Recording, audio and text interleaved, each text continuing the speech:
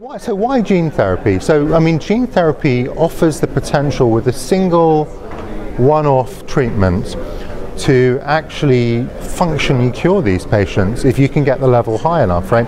So to, to, to make them normal, to have normal levels which are between 50 and 100%, you obviously need to have a very effective gene therapy treatment. Unfortunately, ours appears to fall into that category because the patients we've treated uh, seem to get into the normal range and they do that very quickly within five to seven weeks. But there are huge advantages to actually um, not having to take factor obviously every two days. I mean, it's completely disruptive to an individual's life. Psychologically, they're always a patient and they always will be.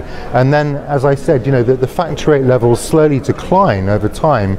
So there's always a risk in that kind of last you know, a few hours or days when, when your factor levels are going down that you're going to have bleeds, which you may not even be aware of, which over time will gradually destroy your joints. Now, of course, if you're making the factor 8 from your liver cells continuously over time, you should in theory have continuous protection. The levels never dip.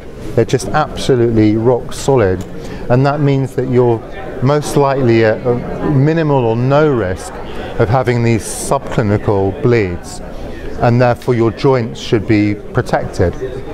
So, so really you can, you can actually almost get to the point where you're no longer can call yourself a haemophiliac, right? And interestingly, when I was at ISTH in Australia earlier in the year, there was a talk on the psychological aspects of, of gene therapy because some patients, their disease becomes such a, a core and essential and defining part of their whole life that when they're suddenly cured functionally, they now almost have, you know, for a while an identity crisis. Am I a patient? Am I cured?